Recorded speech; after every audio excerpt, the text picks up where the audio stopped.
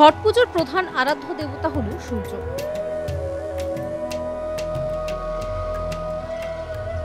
আটার তৈরি ঠেকুয়া বিশেষ ধরনের মিষ্টান্ন জাতীয় খাবারই হলো এই পুজোর প্রধান প্রসাদ। বিকেলে সূর্য ডোবার আগে প্রথমবার আস্ত কলা, ডাব, নানাবিধ ফলমূল ঘাটে নিয়ে গিয়ে পুজো দেওয়া হয়। পরের দিনে সূর্যদেব ওঠার আগে একইভাবে পুজো সমাপ্ত হয়। মূলত হিন্দি ভাষীদের জন্যই এই উৎসব।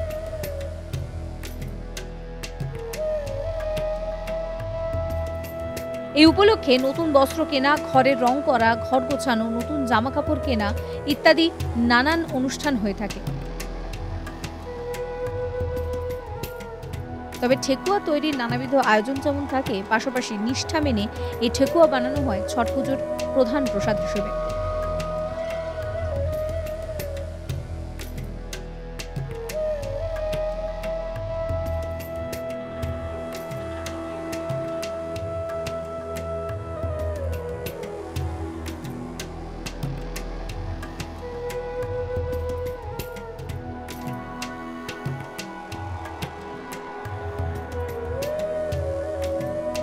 নদিয়া থেকে বিশ্বজিৎ বন্দ্যোপাধ্যায়ের রিপোর্ট আজ তক বাংলা।